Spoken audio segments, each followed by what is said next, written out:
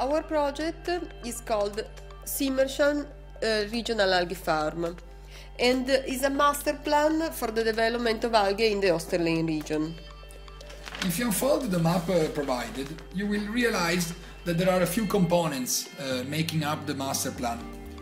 Uh, on the left hand side you'll see the topographic regions describing in detail the characteristics of the landscape and below the algal biodiversity of the region.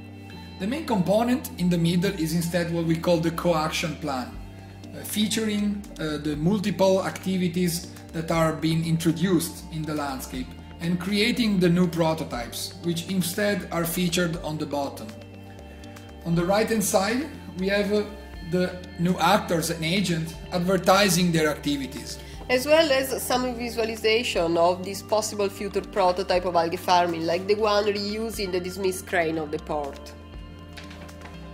Another component of uh, our exhibition of the project is the hanging garden. Let's enter the garden. The first process that we can encounter is the photosynthesis. By blowing CO2 in the photobioreactor, you will release oxygen as well as stimulating the production of new, more oxygen bubble inside of the photobioreactors.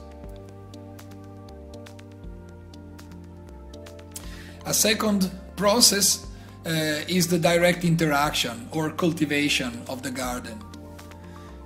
When you touch the tubes to blow CO2, the garden will register your presence and blink you back with the LEDs, as well as will record your interaction and store it in its memory for the future.